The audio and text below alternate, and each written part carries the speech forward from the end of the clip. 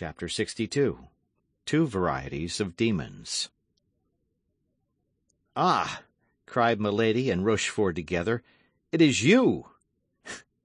yes, it is I. And you come? asked Milady. From La Rochelle, and you? From England. Buckingham? Dead or desperately wounded, as I left without having been able to hear anything of him. A fanatic has just assassinated him.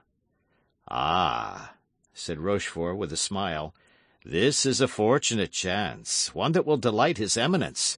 Have you informed him of it? I wrote to him from Boulogne, but what brings you here? His Eminence was uneasy, and sent me to find you. I only arrived yesterday. And what have you been doing since yesterday? I have not lost my time. Oh, I don't doubt that. Do you know whom I have encountered here? No. Guess. How can I? That young woman whom the queen took out of prison.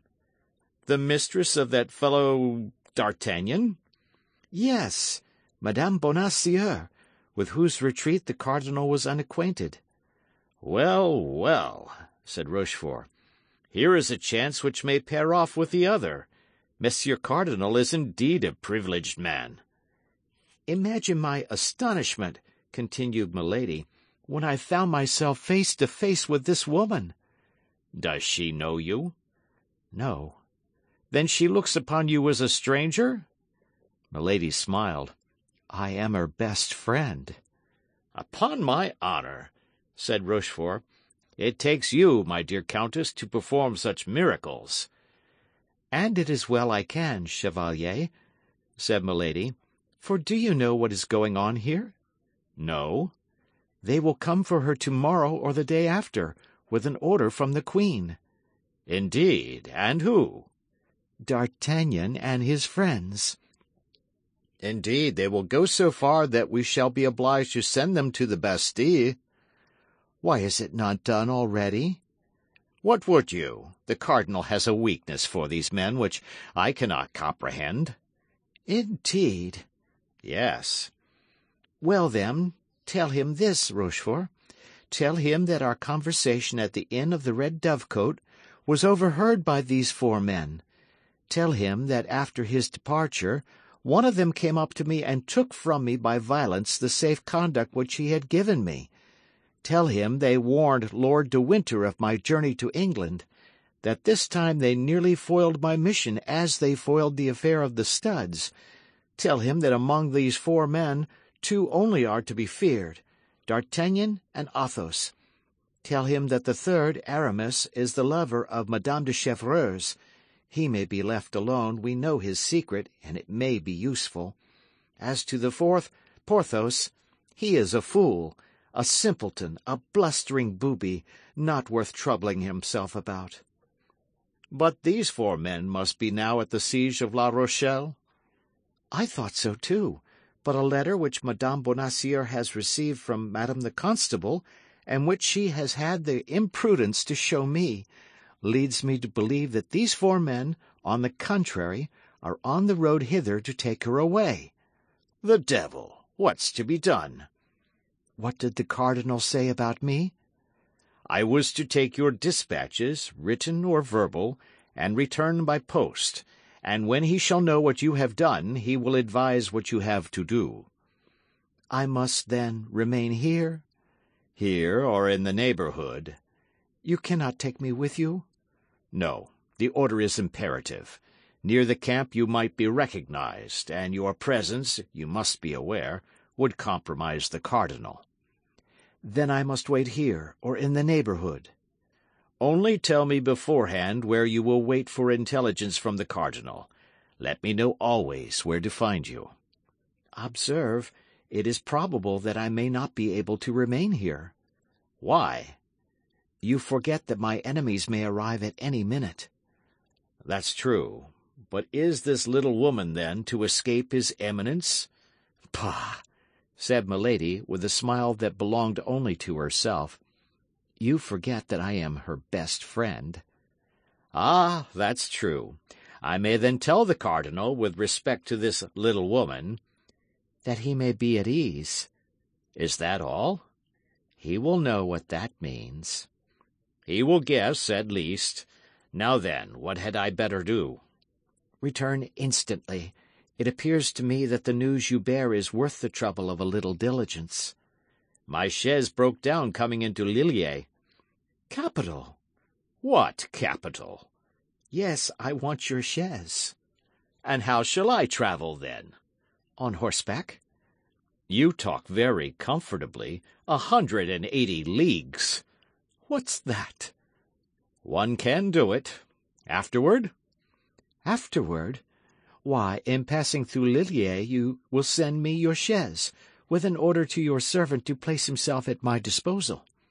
Well, you have no doubt some order from the cardinal about you? I have my full power.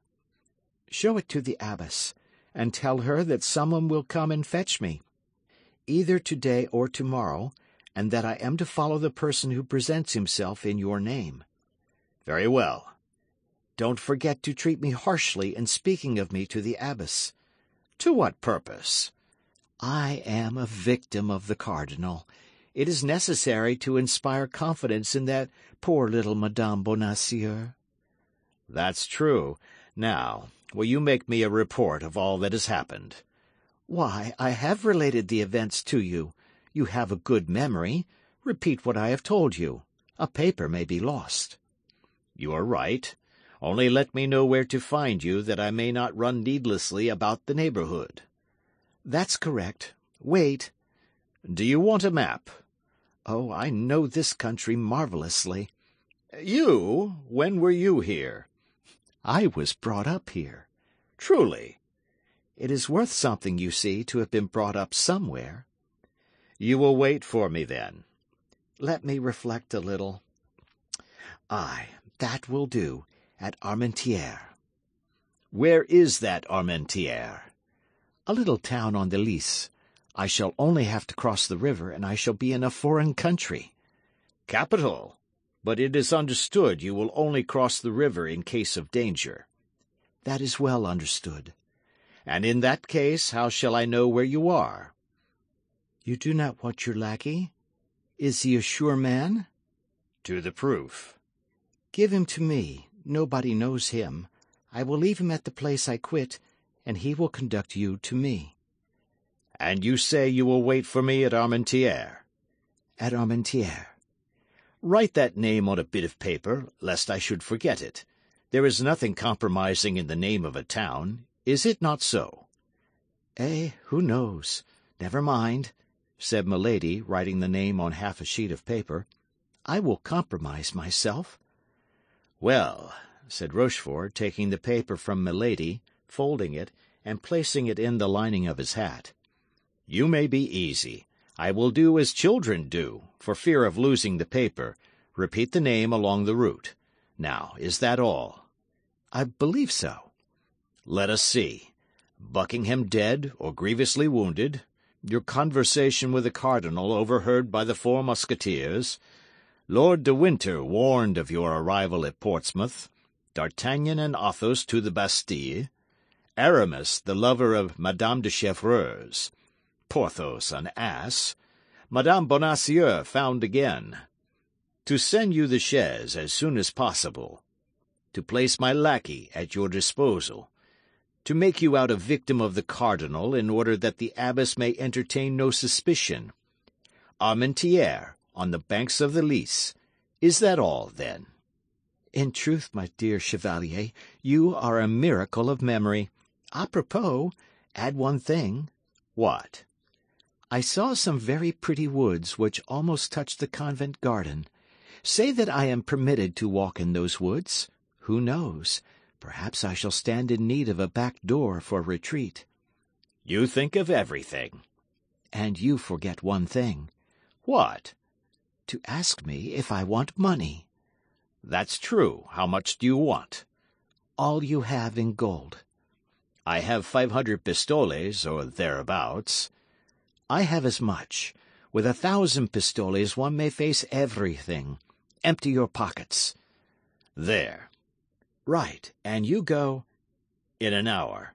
Time to eat a morsel, during which I shall send for a post horse. Capital. Adieu, Chevalier. Adieu, Countess. Commend me to the cardinal. Commend me to Satan. Milady and Rochefort exchanged a smile and separated. An hour afterward, Rochefort set out at a grand gallop. Five hours after that he passed through Arras. Our readers already know how he was recognized by D'Artagnan, and how that recognition, by inspiring fear in the four Musketeers, had given fresh activity to their journey.